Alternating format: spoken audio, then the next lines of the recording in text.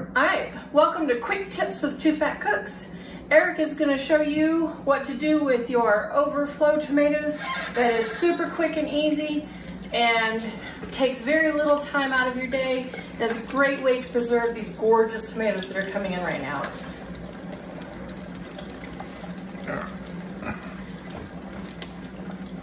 You want to just come over here and dry these, I way I'm not that. having to Yeah, wait yeah. too much time. So we're basically just taking some number two tomatoes that we got. Uh, one of the virtues of knowing your farmers is if you're doing something that don't need a pretty tomato, a lot of times you can pick up, sometimes they call them Bs, sometimes they're number twos, canning tomatoes. Um, these are just ones that they don't think are pretty enough to make it out. Just Sully, look how gorgeous that is. Yeah, no joke. They're usually beautiful. Um, but there'll be some cosmetic blemishes and stuff like that. But so we're just taking these guys and we're just getting the dirt off of them by running them under some cold water. You'll notice he's rubbing tomatoes. The, the sand, when it rains, likes to bounce up and stick to the tomatoes. And so he's rubbing it really good to make sure he gets all of the sand and the little dried on leaf bits that stick to the tomatoes. Now the trick that we're doing today is basically just a way to preserve the tomatoes quickly without having to worry about canning or doing a whole lot of foo-foo. So while you're doing this, if you see any imperfections or stuff that you're gonna wanna take off, you're gonna be able to do that at the end of the process. But for right now, you just want them clean. All right, so we have washed and dried them. We dried them mostly just so they wouldn't stick to the pan. I have a little silicone sheet I'm using here. You don't have to use one. Um, do not use aluminum foil because when they freeze, they will stick to the aluminum foil and you'll get stuck with little bits of tin foil to your frozen tomatoes. Other than that, really whatever you have works. A plain sheet will work too. You just may have to wash it afterwards because these may split and leak a little bit during the freezing process. Wax paper. Wax um, paper would be fine. honestly- Parchment, just a plain sheet would be fine. You'll just have to wash it. No, because those will also stick, stick, to the tomato. right. Yeah, yeah. You don't want anything that will stick to the tomato. So that's it. These guys are clean, dry, and they're going in the freezer for 24 to 48 hours a week if you're busy. No big deal with the skin on. It really doesn't matter if they're sitting in there uncovered. And um, when these are nice and solidly frozen, we'll come back and show you what to do with them from there. And having this type of setup, especially with a silicon mat or keeping some parchment paper in the house where you can do these, this is really your best bet for your first freeze on almost anything you're gonna put up, vegetable-wise and such. Because you can lay it out on the sheets in nice even layers where it's not clumped up, let every individual piece freeze laid out flat, then pour it off into a bag or a box or whatever you keep your stuff in. That way when you go back for a handful later, you don't have this big giant brick of frozen that plops out that you've got to wait to thaw. You can open the thing, pull out a handful of onions or okra or whatever, and you go ahead and toss them in whatever you're Absolutely. using. And they actually do freeze faster this way, which causes less cellular damage in the long run. Cellular, that's a hard word. So we're gonna throw these in this freezer and um, we'll see you back in a couple of days. It also, just to build on what Christy's saying, it causes a lot less wallet damage. The more stuff's laid out like that, the more efficient it freezes, the less work your freezer is doing. That too. So if you're putting a lot of stuff up, you want to watch you're not overloading the freezer, so the Less more efficient electricity. it works, the better it goes. Absolutely, and this is great also for your wallet because none of this is going to go to waste. You're not going to find these half fuzzy in a week because you didn't have time to eat all of them. This is a great way to put food up that's fresh now for later when it's no longer tomato season. All right, that's us.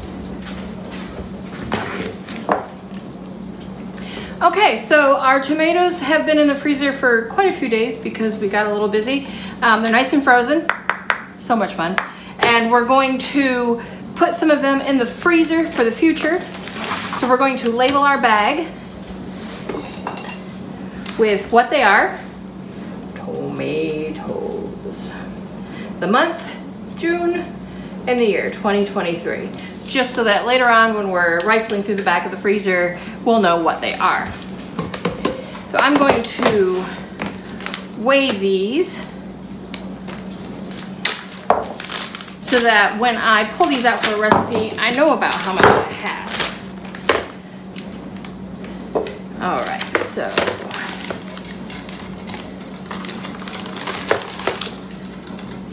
That is a lovely two pound bag right there. I'm gonna get two two pound bags out of this. Wonderful. again, I'm going to label.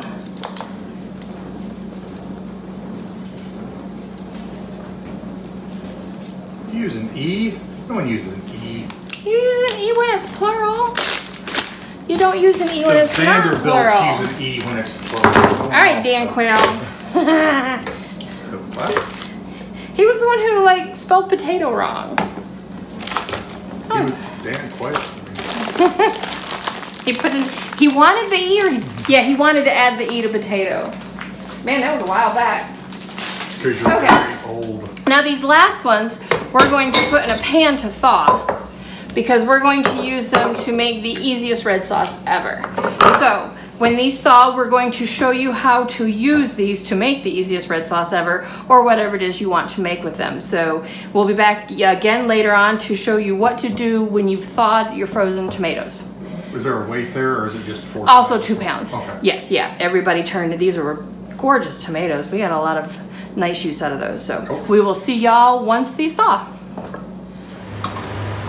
Okay, so it's been a day since we got the tomatoes out. Um, I originally had them in a saucepan to thaw, but with this bowl, y'all can see it a little better. You see all that liquid there. Don't throw that away. That's tomato essence. You want that. That's a lot of lovely tomato flavor. So we're going to leave that. I'm actually going to pour it in the pan that I'm going to cook these tomatoes in, just so I don't make a mess. Now, you take your skin and you just peel it right off. Look at that, gorgeous. No effort at all. And of course I didn't get a, a pan or a bowl ready.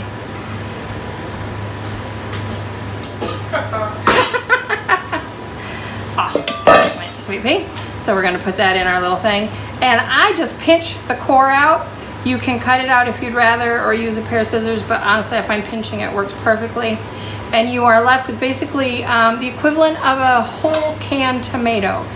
And so we're gonna put that in our pan. A And whole repeat. can of tomatoes. Well, a canned, Whole canned canned, canned whole tomato. That's complicated. Man, this is like I need some grammar help on this one. Come on, English minor. I Let's gonna just. say, I, I, I can use my useless education if you'd like. I, I married you for a reason. Help me out with my grammar here. yeah, the English minor. That's what sealed the deal because that's a moneymaker right there. Well, that in the butt. Oh, so. Oh, yeah. All right, so we're going to just, and y'all see how easy this is. There's just no. Now, I, of course, it does take up freezer space, so that's the benefit of canning, is you can just put those on shelves. But this seriously is going to take less than five minutes, and we have two pounds of gorgeous processed tomatoes ready to rock and roll. That took maybe five minutes to put up, and now I have a lovely pan of crushed tomatoes. And this bit right here is really what you should be doing if you open a can of crushed tomatoes anyway. Crushed tomatoes? Ah, whole tomatoes, canned, canned whole tomato, there we go. And um, so now I have basically stewed tomatoes ready to go. So I hope you'll give this a try if you have the freezer space and tomatoes coming in like crazy. Eric has a note he'd like Um, to add. Just, uh, obviously the whole tomatoes in the freezer do eat up a little bit of space. Once it's worked down to here, especially if you're going by weight, you can pour this back off into like a restaurant container or something. There's a little square tubs you used to be able to get. Stick it back in the freezer and you've got two cups of crushed, or you know, crushed tomato ready to go when you need it. Yeah, you absolutely could. So they stack better. They Now, definitely stack we better. Laid these out for a little bit, but because we were coming back to it the next day, we did finish thawing them in the um, fridge, which recommend just because it's a tomato. If, Uh, especially if you're doing like we like to do it overnight. The, the the night before, I thought, oh, we want to make tomato sauce, so we grabbed them and put them in the bowl and put them in the fridge to thaw. If you're going to make it later that day, you you can just leave it on the counter. That's perfectly fine. So I hope you'll give this a try, and I also hope you'll check out the tomato sauce recipe that we're about to make with these. It's posted somewhere here on the same page, and it's super easy and delicious. Enjoy. Sorry, let me-